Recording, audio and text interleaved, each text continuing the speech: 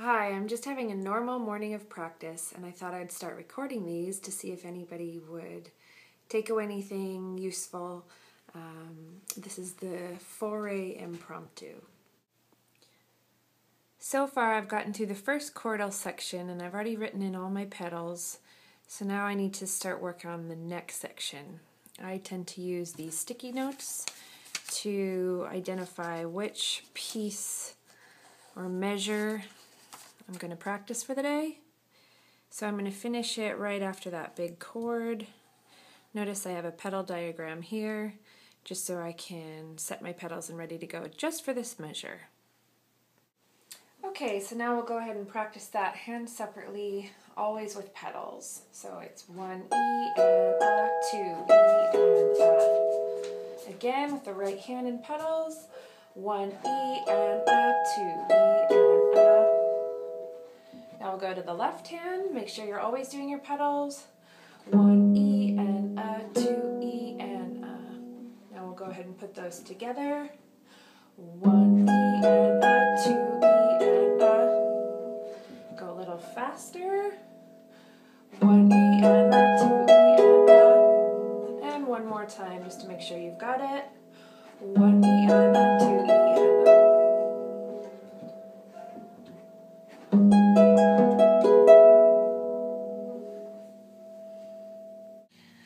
So always remember to connect your sections. So we're going to take the measure beforehand and then we're going to link it up with what we've just learned.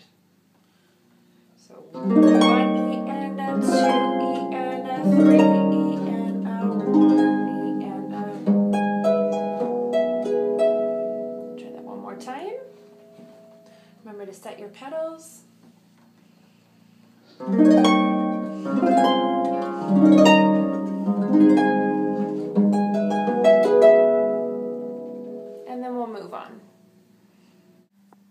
I'm taking what we've just learned and I'm just moving sticky so that I'm not tempted to play any more than what I have in front of me. That's the whole idea, is to visually block out anything around it.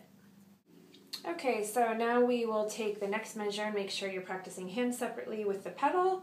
One E and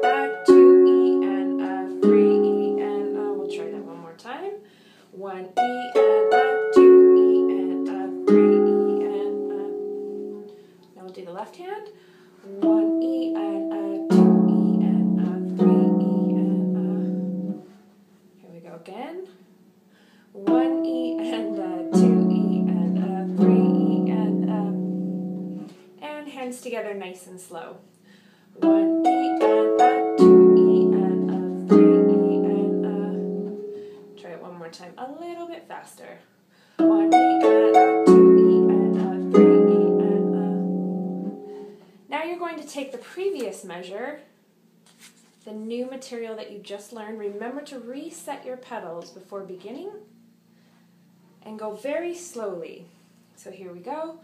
One E